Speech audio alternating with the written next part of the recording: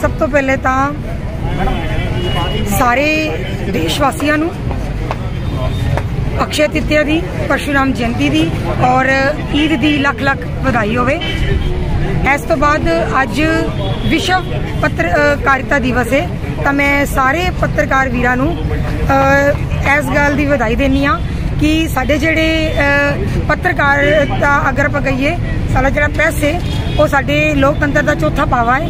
ਔਰ ਜਿੰਨੇ ਸਾਡੇ ਸਮਾਜ ਦੇ ਵਿੱਚ ਪ੍ਰੀਤੀਆਂ ਫੈਲੀਆਂ ਹੋਈਆਂ ਨੇ, ਜੋ ਵੀ ਸਾਡੇ ਸਮਾਜ ਵਿੱਚ ਗਲਤ ਕੰਮ ਹੋ ਰਹੇ ਨੇ, ਉਹਨਾਂ ਨੂੰ ਲੋਕਾਂ ਤੱਕ ਪਹੁੰਚਾਉਣ ਦਾ ਔਰ ਆਪਣੇ ਆਪ ਨੂੰ ਜੋਖਿਮ ਵਿੱਚ ਰੱਖ ਕੇ ਜੋ ਕੰਮ ਇਹ ਪੱਤਰਕਾਰ ਕਰਦੇ ਨੇ, ਉਹਨਾਂ ਨੂੰ ਸਭ ਤੋਂ ਪਹਿਲਾਂ ਤਾਂ ਮੇਰੇ ਵੱਲੋਂ ਸੈਲੂਟ ਹੈ। ਔਰ ਅਗਰ ਪੱਤਰਕਾਰ ਨਾ ਹੋਣ, ਅਗਰ ਸਾਡੇ ਮੀਡੀਆ ਨਾ ਹੋਵੇ, ਤਾਂ ਮੈਨੂੰ ਲੱਗਦਾ ਹੈ ਕਿ ਜੋ ਸਮਾਜ ਵਿੱਚ ਚੱਲ ਰਿਹਾ ਹੈ, ਇਹ ਜਿਹੜੀ ਗੱਲ ਇਹ ਲੋਕਾਂ ਤੱਕ ਨਹੀਂ ਪਹੁੰਚੇਗੀ।